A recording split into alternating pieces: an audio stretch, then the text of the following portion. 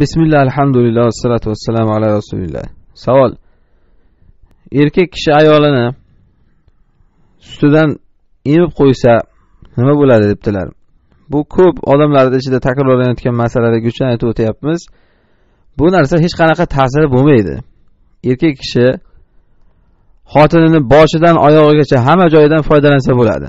Duburdan boshqa ya'ni orqa avratdan boshqa.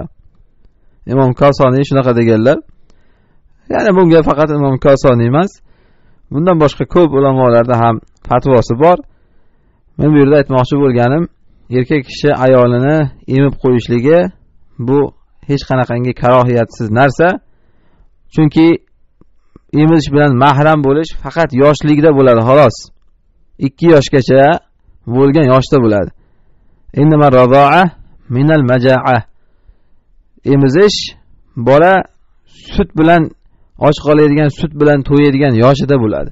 Ovqatga kirgan davrida emas ya'ni. O'shandan keyin emizish hukmi sobit bo'lmaydi uni emgani bilan mahram bo'lib qolmaydi. Vallohu